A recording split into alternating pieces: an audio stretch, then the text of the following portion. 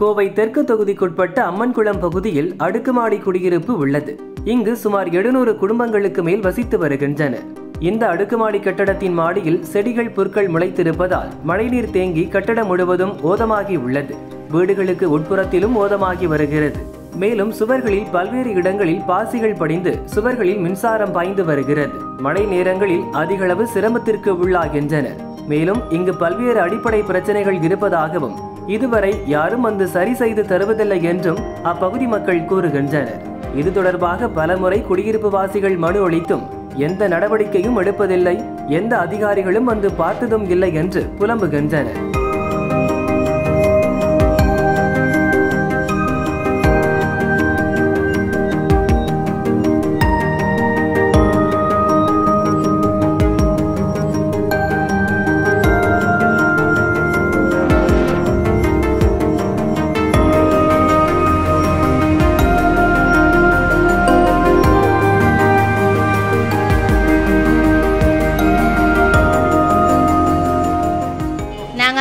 இங்கே புளியகுளம் அம்மன் குளத்தில் இருக்குங்க. நியூ ஹவுசிங் யூனிட்டில் இருக்கோம். இங்கே மொத்தம் எழுநூற்றி தொண்ணூற்றி ரெண்டு குடும்பம் இருக்குது அதில் ரெண்டு இது வந்து நாங்கள் சத்துணவு இது கொடுத்துட்டோம். மொத்தம் எழுநூற்றி தொண்ணூறு இருக்குதுங்க. அதில் வந்து ஒரு வீட்டுக்கு எப்படியும் நாலு பேர் அஞ்சு பேர் இருக்கிறாங்க இங்கே. அப்புறம் வந்து இங்கே வந்து ஆரம்பத்துலேருந்தே பார்த்தீங்கன்னா அப்பப்போ கொஞ்சம் க்ளீன் பண்ணுறாங்க வந்து யாராவது அதிகாரிகள் வந்து சொல்கிறாங்க அப்போ அப்போதைக்கு வந்து சூட்டுக்கு சூடாக அப்படியே வந்து க்ளீன் பண்ணிட்டு போகிறாங்க அதுக்கப்புறம் எதுவும் அவ்வளோக்கு கண்டுக்கிறது கிடையாது எதுவும் கிடையாது.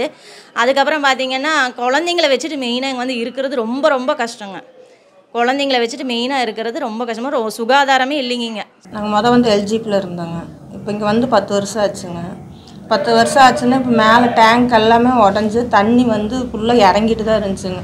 இதோட சேர்ந்து மழையும் வர்றப்போ என்ன ஆகுதுன்னா ஃபுல்லாக தண்ணி செவுத்து வழியாக இறங்குதுங்க செவுத்து வழியாக இறங்கி ஃபுல்லாக ஜன்னல் வழியாக அப்படியே அந்த சுவிட்ச் பாக்ஸுக்கிட்ட வருது. வருதுங்க கை வச்சோம்னா அப்படி கரண்ட் ஷாக் குழந்தைகளுக்கு அடிக்குதுங்க இதை நாங்கள் போய் கவுன்சிலர்கிட்ட சொன்னால் எம்எல்ஏட்ட சொல்லுங்கள் அங்கே சொன்னால் குடிசை மாட்டத்தில் சொல்லுங்கள் கலெக்டர் ஆஃபீஸுக்கு போங்க எங்களுக்கு யாரும் எந்த ஒரு முடிவும் சொல்ல மாட்டேங்கிறாங்க நாங்கள் குழந்தைகளை வச்சுட்டு இங்கே ரொம்ப கஷ்டப்படுறோங்க.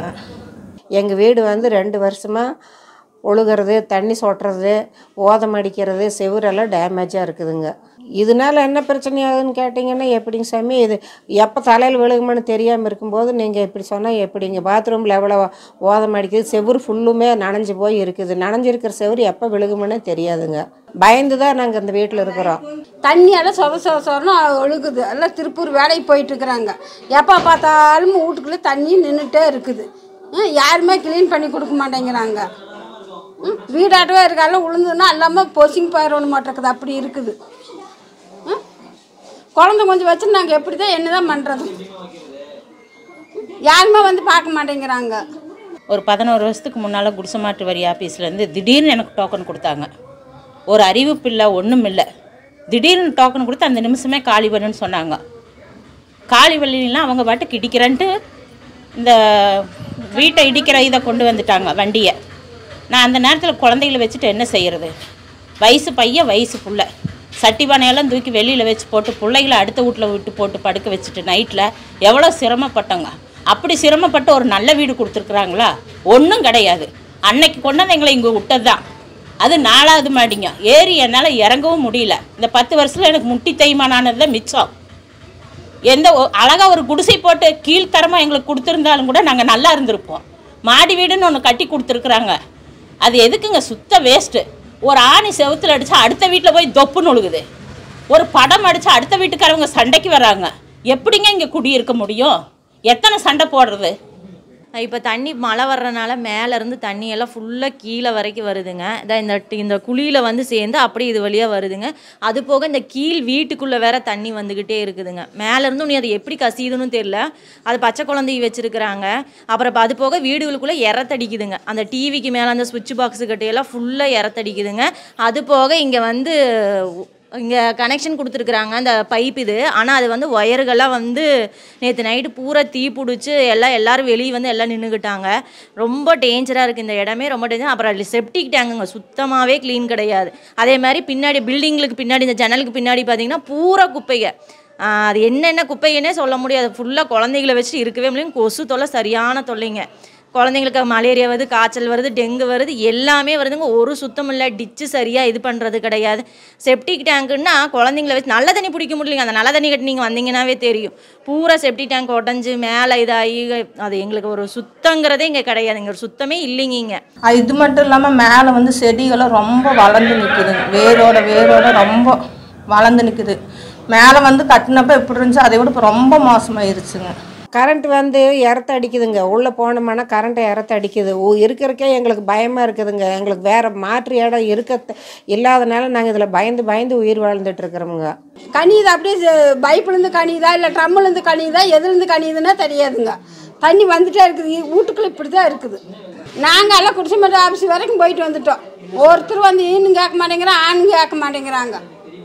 ரெண்டாவது மேலே வந்து மொட்டை மாடியில் டேங்க் வச்சு உப்பு தண்ணி ரப்புறாங்க ஃபுல்லாக வடிஞ்சு வருது. வடிஞ்சு வந்து ஃபுல்லாக கட்டடத்தவே தண்ணி நின்று நின்று ஊறி இப்போ வீட்டுக்குள்ளே இறங்குது. மழை பெய்யவும் எச்சா வீட்டுக்குள்ளே இப்போ நீங்கள் நிற்கிற அளவுக்கு தான் எங்கள் வீட்டுக்குள்ளே தண்ணி இருக்குது நாலாவது மாடியில். இது பயங்கரமான பிரச்சனைங்க.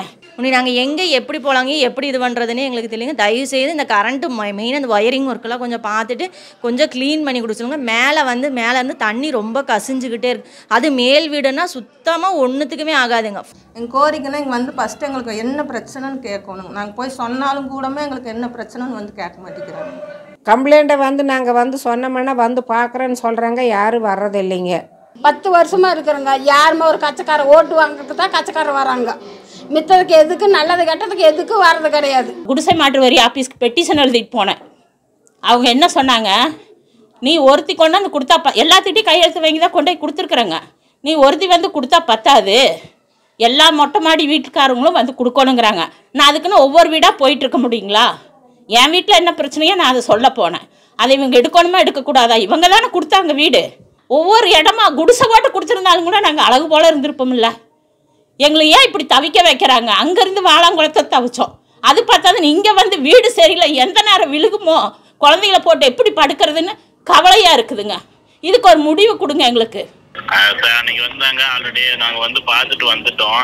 நாங்க அதுக்கப்புறம் பண்ணி தரோம். பேசிக் மெயின்டெனன்ஸ் நாங்க இது பண்ணி தரோம். நீங்க சார் அதையும் கேட்டோம். நாங்க இது கூட இப்ப பண்ணி தரோம் அசேஷ் தோமன் இருக்காங்கன்னா அசே குடியிருப்பு நலசங்கம்னு சொன்னாலே இல்ல பணம் கட்டணும் அந்த மாதிரி பேச்சு எடுத்தாலும் எல்லாமே ஓடிடுறாங்க சார் வரவே ஒரு மீட்டிங் இன்வைட் பண்ணா கூட யாருமே வரதில்ல சார் எங்க எல்லா இடத்துலயுமே வந்து மீள் குடியமர்வு அதாவது ஒரு இடத்துல இருந்து இன்னொரு இடத்துக்கு குடியமர்வு பண்ணியிருக்கோம்.